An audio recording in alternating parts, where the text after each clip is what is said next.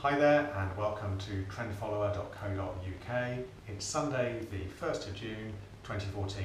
My name is Andy Rowe and I'm about to tell you about the trade that I'm going to be placing tomorrow. That's Monday the 2nd of June. So this is the trade that I'm going to be placing on Monday. It's a long position, uh, a buy trade of IPF International Personal Finance who do uh, um, loans from home all, all around Europe, and uh, um, their price uh, fell down badly when they had um, some uh, decisions made against them, I think in Poland, um, but I think that got sorted out and the price has been rising.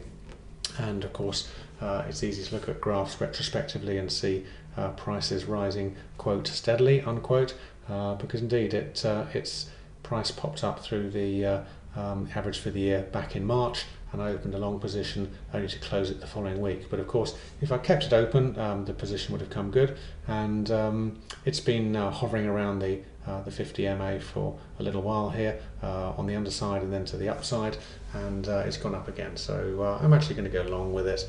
Um, one could say a little bit late in the day, but uh, maybe not. Maybe that's just confirmation. So I'm going to be opening a long position in IPF and aim to track it up and we'll, we'll see how it goes. So uh, watch this space. So I hope you found that interesting. And by the way, if you're interested in finding out more details about how I trade, you can become a member. So go to the membership section of this website and find out uh, all the details about becoming a member. And I look forward to joining you on that side.